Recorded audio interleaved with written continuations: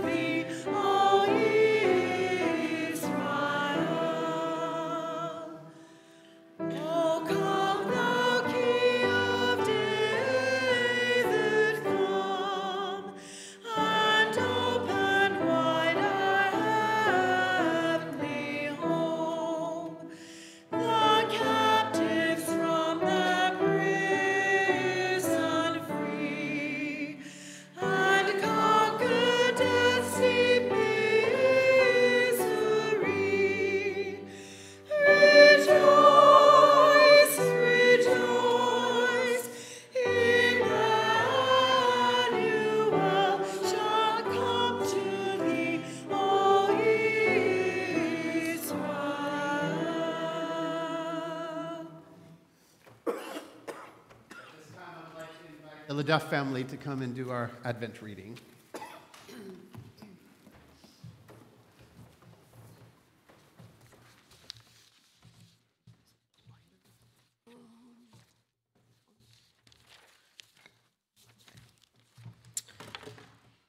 sounded lovely. Isaiah, Isaiah told the king of his time that the Lord himself would give a sign. Look, the young woman is with child and shall bear a son and shall name him Emmanuel. God wants us to know God is there, even when we aren't sure ourselves. God wants us to experience God's presence, even when we think we can handle life on our own. God, send us, God sends us signs of God's presence with us. All we need to do is keep our eyes open and look around us. Look, the virgin shall conceive a son, and they shall name him Emmanuel, which means God with us. When Joseph woke from sleep, he did as the angel of the Lord commanded him. He took her as his wife, but had no marital relations with her until she had borne the son, and he named him Jesus. We light these candles, the candles of joyous hope, of proclaimed peace, of deep everlasting joy, and today the presence that speaks of love. as a sign that no matter our circumstance, we know we are not alone.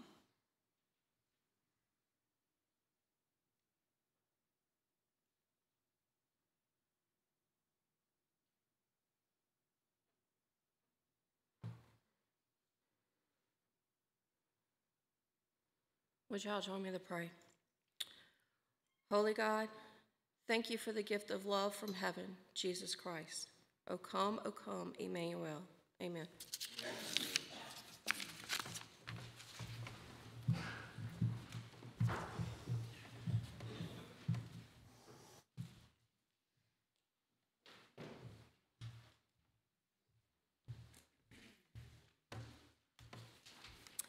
Please join me in the Apostles' Creed. It'll be on the screen or in your hymnal at 881. Louder? Hmm? Oh, please stand.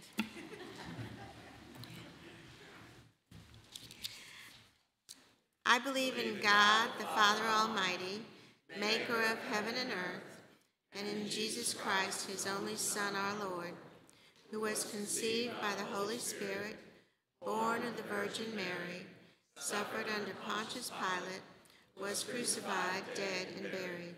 The third day he rose from the dead. He ascended into heaven and sitteth at the right hand of God the Father Almighty. Hence he shall come to judge the quick and the dead. I believe in the Holy Spirit, the holy Catholic Church, the communion of saints, the forgiveness of sins, the resurrection of the body, and life everlasting. Amen.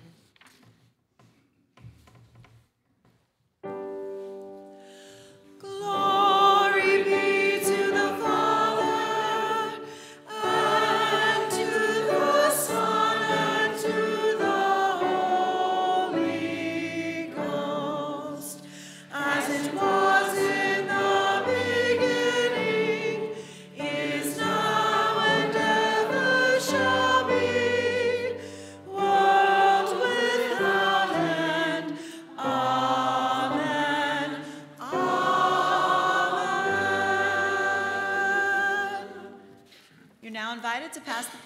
sign of welcoming this morning. Happy Sunday!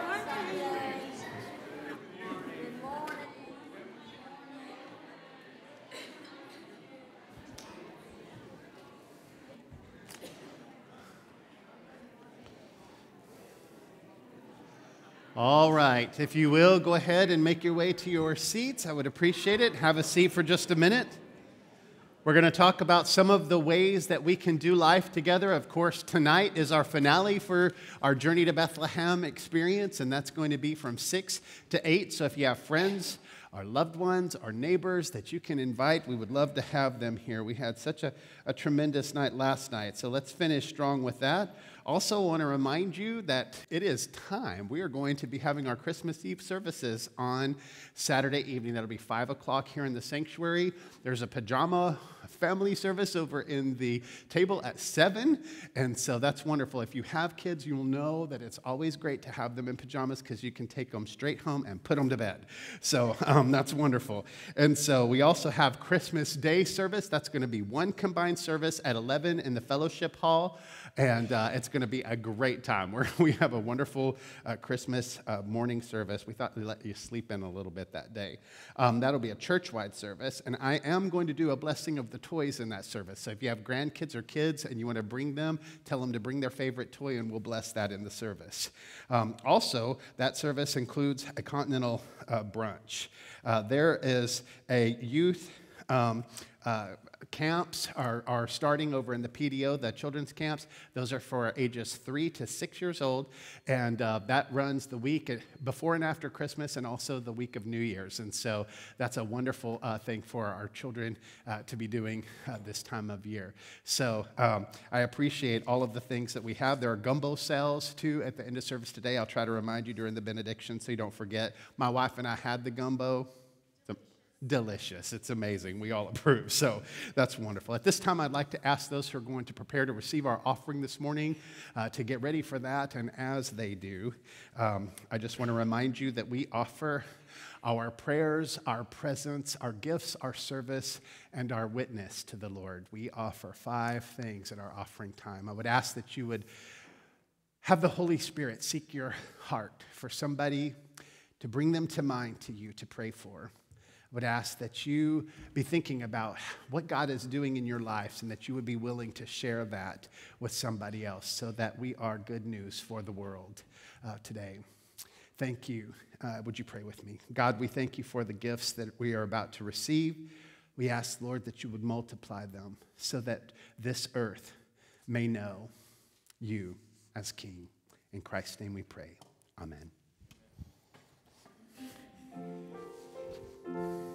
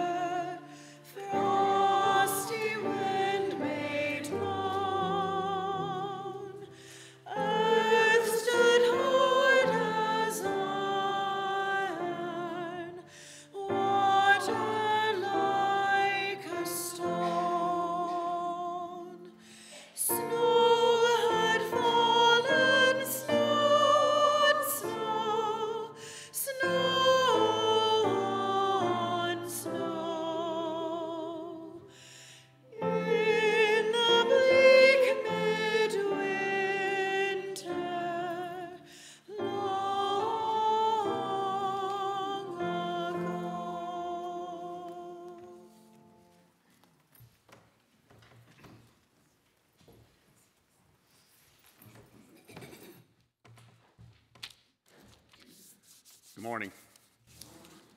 Let's bow our heads as we go to the Lord in corporate prayer. Father God, we thank you so much for that small baby that came over 2,000 years ago that paid the debt for all of us. We can never say thank you enough for that gift. May that memory live within us so that we forgive those around us, that we show the, the joy that it is to have you as our Savior, so that the world feels invited. And those who don't understand or know the opportunity to get to know you, may we be a welcoming place that brings them in. May we be the face that they see that they see love in. May we be the arms they feel comfort in. May we be the ears that listen. And we, may we be the hearts that have compassion. So guide us as we think of that baby and all the ways that we live our lives, so that as we sing with joy in our hearts for that baby, that we sing for joy for the world that surrounds us and all that you give us opportunity to be involved in. We ask now that we join together in the prayer that you taught the disciples to pray when we say, Our Father, who art in heaven, hallowed be thy name. Thy kingdom come, thy will be done, on earth as it is in heaven. Give us this day our daily bread, and forgive us our trespasses, as we forgive those who trespass against us. And lead us not into temptation, but deliver us from evil. For thine the kingdom, and the power, and the glory forever. Amen.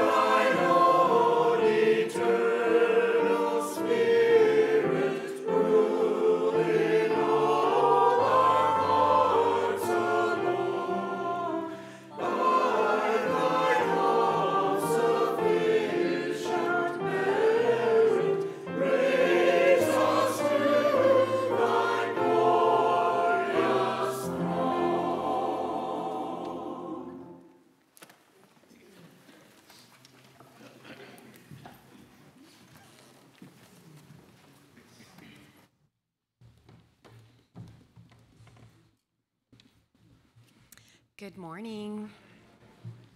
The scripture I'm reading today is found in Matthew chapter 1, verses 18 through 25. Now, the birth of Jesus, the Messiah, took place in this way. When his mother Mary had been engaged to Joseph, but before they lived together, she was found to be pregnant from the Holy Spirit. Her husband, Joseph, being a righteous man and unwilling to expose her to public disgrace, planned to divorce her quietly. But just when he had resolved to do this, an angel of the Lord appeared to him in a dream and said, Joseph, son of David, do not be afraid to take Mary as your wife for the child conceived in her is from the Holy Spirit. She will bear a son, and you are to name him Jesus, for he will save his people from their sins. All this took place to fulfill what had been spoken by the Lord through the prophet. Look, the virgin shall become pregnant and give birth to a son and they shall call him Emmanuel, which means God is with us. When Joseph awoke from sleep, he did as the angel of the Lord commanded him. He took her as his wife, but had no marital relations with her until she had given birth to a son, and he named him Jesus. This is the word of God for the people of God. Thanks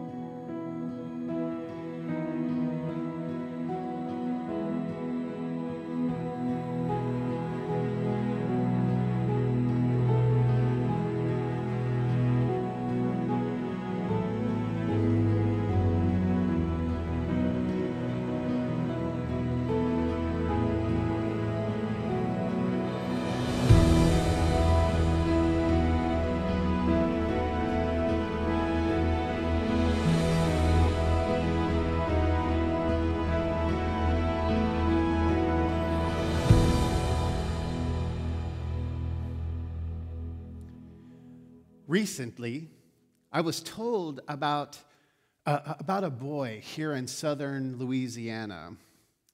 And he had come home one very hot afternoon, and he was really, really, really looking forward to taking a swim in the water behind his house. This was the usual way that he saved himself from our extreme heat in the summer months. He would go and cool himself off. When he got home, he was so anxious to get in that water that he didn't even bother to uh, go inside and change clothes. He just started racing for the water and stripped his shirt off and his shoes and his socks, and, and along he went. Now, his mother had spotted him diving off of their dock, and so she followed him down there to go check on him. And as she watched him swim out into the middle of the water, she caught sight of a little ripple in the shore on the opposite side. And she realized that there was an alligator who was moving towards her son. And she began to scream out to warn him of what was happening. And, and she realized all the danger that he was in, and, and so did he. And so he began to race to swimming towards the dock, this alligator. And just as his mother reached for him to pull him out, so did the alligator reach for him, and they ended up in a tug of war made of nightmares. It wasn't long before the water was quickly filled with blood. Now, there was a farmer who just happened praise be to God, to be working out in his fields. And he heard the mothers screaming and her cries for help. And so he ran over to the dock to help her. And luckily, when he did, he had his gun with him and he was able to take a couple of shots at the alligator. And then, of course, he hurried about helping the mother get some help for the son and get an ambulance out to the scene. And so the boy survived and it made news all over town. And several weeks later, when he was released from the hospital, there was a news conference that was being held where he talked to some local reporters. And one of the reporters asked the boy if, if he could see where the alligator had bitten him. And with the pride of a typical young boy, he rolled up his uh, you know, pant leg and, and he showed off his healing wounds, and the reporter was like in awe. And then the boy said one interesting thing. He said, But there's more. And so he rolled up his sleeves and he showed the reporter the scars from fingernails up and down his arms. And he said, Look, I have these scars on my arms too, he said. I got them because my mom was determined not to let me go. She saved my life. Let's pray. God, we thank you for your love. We thank you for your mercy and your grace. We thank you for your help and your rescue. In Christ's name, we pray. Amen. Have we ever needed a Savior? Well, it may depend on who you ask. Maybe a soldier on either side of the war on the battlefield in Ukraine might feel more passionately about that today than others. Maybe someone experiencing homelessness or poverty, sleeping out under one of our bridges on a cold night, might feel more inclined for help from a Savior. But do you need a Savior? Let's talk about Christmas while we're asking questions.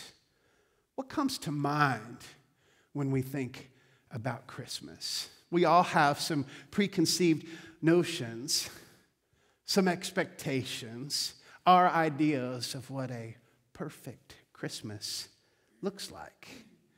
Some of us value very elaborate preparations. And I know that some of us love good old Hallmark at this time of year. Amen. You know, the people of Israel, they knew that they needed a Savior. And they had waited a very long time, as the choir just sang about in their anthem, Come, thou long expected Jesus. That was written by Charles Wesley, John Wesley's brother, the founder of Methodism. His brother wrote that beautiful song. And I told the choir this morning, boy, he really captured Israel's longing for a Savior. You see, they were held captive, they were taxed to smithereens. Now, Bert Neal was Caesar Augustus last night. What a great cast that was. I told them, you need to stop taxing people. That's not nice. But see, the Israelites, they were overrun by Rome. It was a real mess. God had delivered them before, though, through some very similar circumstances in Egypt. And now here they were again. It was as if history were repeating itself. You know, the first Christmas doesn't open with flawless and elaborate seasonal preparations sponsored by Hallmark, does it? In fact, what we find instead is that the real nativity is full of both wonder and scandal. The preceding verses leading up to what was read this morning take us through the genealogy of the house of David, and they seek to show us that Jesus is a descendant out of the Davidic bloodline. Yet, when we get to Joseph's name in this genealogy, we get a very awkward statement that is not in the pattern of the rest of the names on that list. It simply says, and I quote, Joseph was the husband of Mary, of whom Jesus was born. Now, this passage presents an immediate challenge about Jesus' biological parents, doesn't it? And a really significant one. We don't typically talk a lot about Joseph, but he was faithful. He was a Jewish man, and he was a descendant of David. But make no mistake, when he learned that Mary was found to be pregnant with a child from the Holy Spirit, his responses would have been ingrained in him through his faith. An ancient engagement in his faith was essentially marriage awaiting the consummation. It was an already done deal, you see. And now he must divorce his unfaithful wife. It would have been a given. This pregnancy by the Holy Spirit, that was unheard of. and it was a violation of social norms and ethics. As a Jewish man at that time, there would be no let's uh, forgive this and forget it, right? But watch what God did. God sent the angel, a messenger, to Joseph in a dream and actually underscored the genealogy again when the angel refers to Joseph as the son of David. So we know that there's something important in the works here. And the angel said essentially, I know this isn't what you expected, but it is going to be okay because God is going to do amazing things despite your situation. And then the angel, the messenger of God, told Joseph that he was to remain with Mary, and then, in just a few words, revealed the boiled down meaning and purpose of perhaps Joseph's whole life. You shall name him Jesus. And Joseph's obedience to those few words upended religious convention and norms. And so began the fulfillment of the messianic prophecy. Joseph legally adopted Jesus into the Davidic bloodline. And that, my friends, is a big deal. Because Joseph put his name on Jesus, and Jesus was about to return the favor in a mind bending and mysterious way. At no point was Joseph asking for any trouble or trying to be politically rebellious here. He wasn't trying to be a goody two shoes and blow himself up as a Jewish descendant of the house of David. On the contrary, he was going to quietly, not shame Mary, even though she should not be pregnant. But his decision to remain faithful to Mary violated social expectations and norms when God intervened in unexpected ways. See, this same kind of thing, it, it happens to you and to me. Remember when I asked you about whether you needed a Savior? When we really think about it, haven't we all been bitten by life's big alligator? Aren't we all exiled in one way or another? Especially when we start asking the big and the tough questions, questions like, Am I truly happy? Especially when we ask the big questions like, What about my life is unfulfilling? Or what is it going to take for me to be happy and finally peaceful? Now, some of you might be like, I'm fine and dandy. Cool. Then do you know why you were created? What's your purpose for being right here, right now? What happens next? I've seen people who seem to have it all one day, but then they make a choice to end it all. Just this week, a young man by the name of Twitch, a very, very talented dancer, who was also the DJ on the Ellen DeGeneres show, took his own life. What happens next? What is life all about?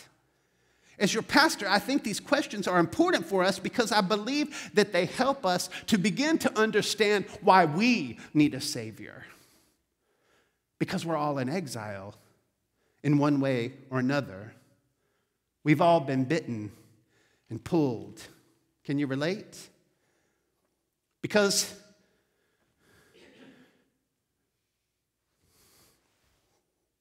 because you don't just have things happen to you in this life and not feel a little like Joseph. Really not wanting any trouble, really wanting to just kind of handle things quietly without a big fuss, not a bunch of onlookers. Just trying to be content to live within the social constructs of what's normal of what's conventional, trying to live up to expectations of how others tell us how our life and circumstances should be, so that we know when we are a mess and when we're not a mess. But is that really helpful? Is that really a rescue from God? Don't you see the right questions? They lead us to risky business and unconventional places, uncomfortable places where things might actually change. And the truth is that sin is a choice that we make to minister to ourselves rather than to rely on a Savior to minister to us. Sin is a choice to reject Emmanuel, to reject God with us. It is to isolate ourselves, to internalize our troubles, and to handle it all shh, quiet. Unfortunately, our ways lead to blood in the water and certain death. But thankfully, Christ's way, well, that leads to eternal life. When we freely choose to follow Jesus, we are incorporated into the Messiah's people. Like Joseph did when he put his name on Jesus, Jesus did for us. You see, in the waters of your baptism, your last name was changed. Your last name became Christian, many Christs. When you went down in those waters, your name was no longer Phelps or Denham or Merrill or Ford or anything else. You came up and your name was Christian. You were adopted into Jesus' bloodline. And now you're Jesus' mini me, aren't you? And why would God be trying to get that through our heads this Advent? Why would God come to you in the year 2022 and attempt to use me and this word to help upset the comfort of our social expectations and social norms? Because you can probably hear God saying some of the same things to you that the messenger said to Joseph in this text. I know it isn't what you expected. I know life's been a little different. It's not a hallmark life. Get it. It's imperfect, and it's probably not extravagantly dressed to the nines. But there is no perfect Christmas, and that's the point. But it's okay because God is still going to do amazing things despite your situation. what if God is trying to tell you that unexpected things outside of convention and norms and the way that everyone else tries to tell you that it should be is exactly the sign that God is at work. and it may not be perfect, and it may not be sponsored by Hallmark, but it is the new thing that God is doing, and it is going to be awesome because God is with you. You know, Joseph, he had to trust some really strange news that his child was from the Holy Spirit, that his child was already named, that his child would save all these people from their sins. Maybe, just maybe, Joseph can be used today to inspire us to trust God. What do you think? Could this really be what it means to be saved by a baby in a manger? Is the love that came down from Christmas the long expected Jesus, the child of wonder, the child of Israel, the Lord of us all? Everybody?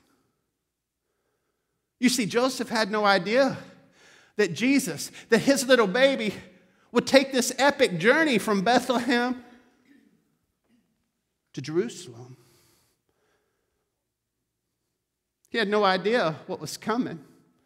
From the manger to the temple to the cross to the tomb, to the right hand of God the Father Almighty, and now is coming fresh in our hearts this morning and in our Christmas Eve candlelight service this coming Saturday, and at our Christmas Day morning service.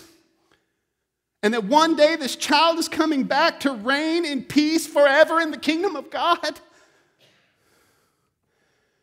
If Joseph had known every detail, if he had known it all, his head would have exploded. It would have. And you know what? The same is true for us.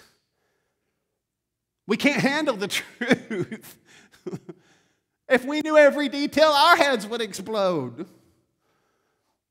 There's a lot to be said for just some simple trust once you believe.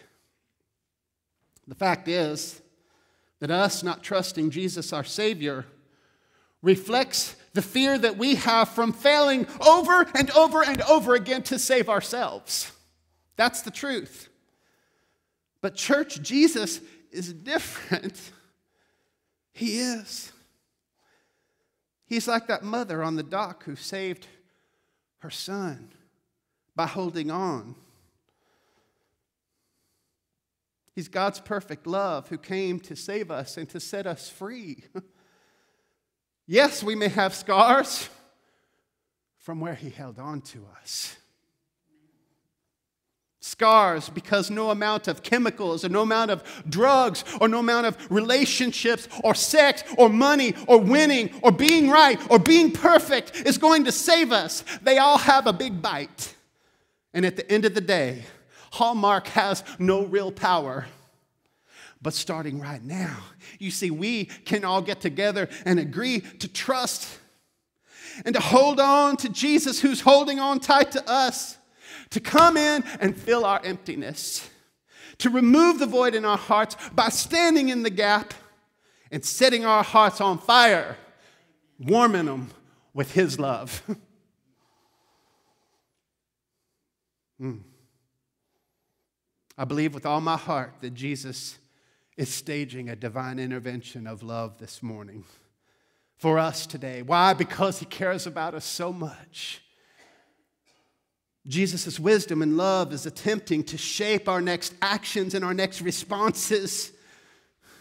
He came to Joseph in a dream, and Joseph showed profound trust. Can we trust in Jesus' dream for us today?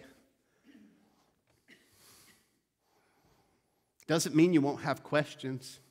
Joseph had questions too. What should I do about Mary? What does the law demand of me?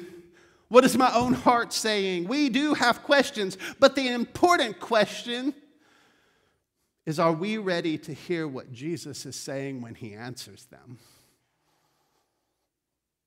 God came to Joseph to show him not to use his humility to isolate himself, not to try to handle his troubles on his own shh, quietly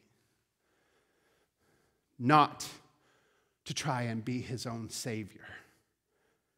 God knew Joseph couldn't save himself, and God knows we can't either. Instead, God came to Joseph to tell him to stay the course with Mary, remain by her side. Are there going to be scars from holding on? Yes. Does it go against convention and against norms? Yes. But to quietly submit himself to his wife's God given calling. Now, that was certainly an upside down thought for a Jewish man of those times. Nothing conventional or normal about that. And God has told us it is not about us. God has us covered through the baby in the manger. God told us it is also about loving others.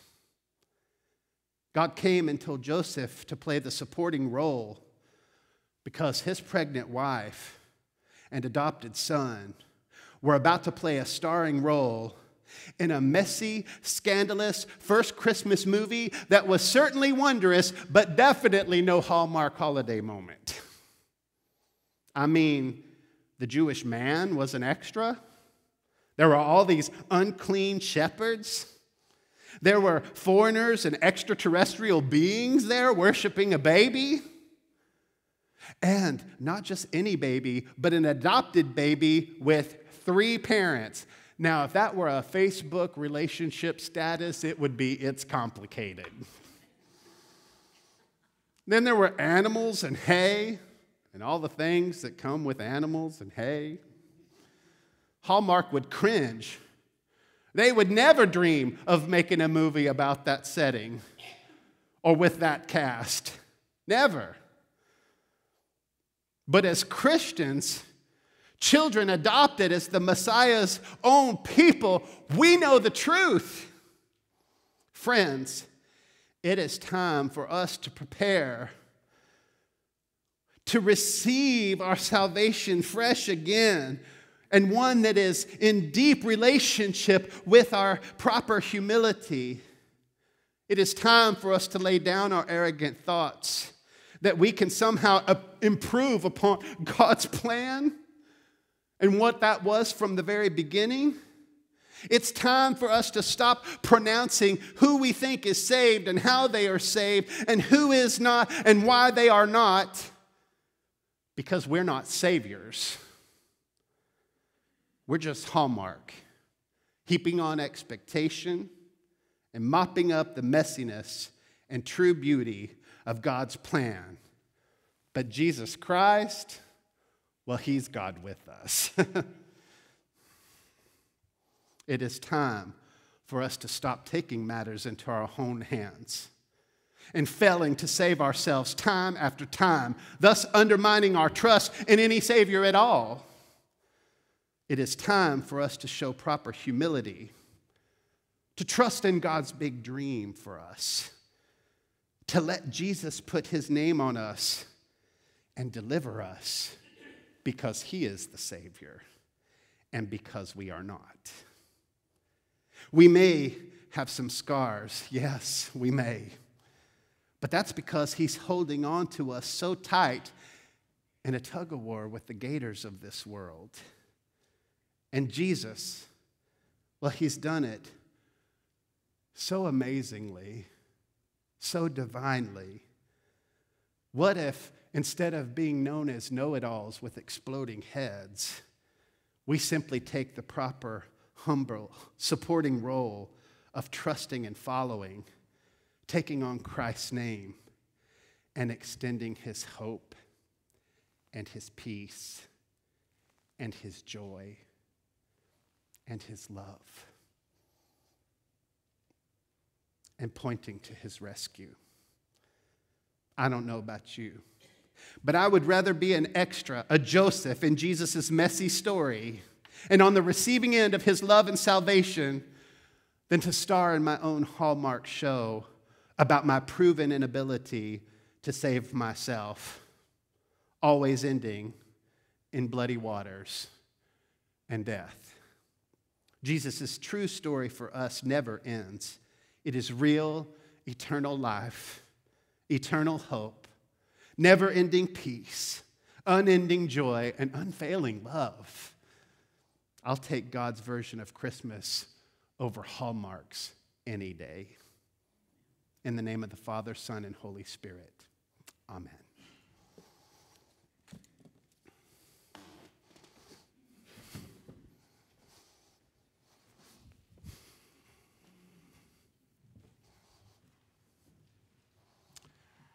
Let's pray. God, we thank you for your word. It never returns void.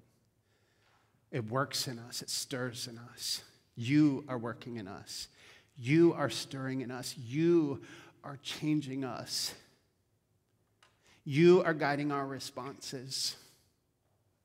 You are calling us to our next actions.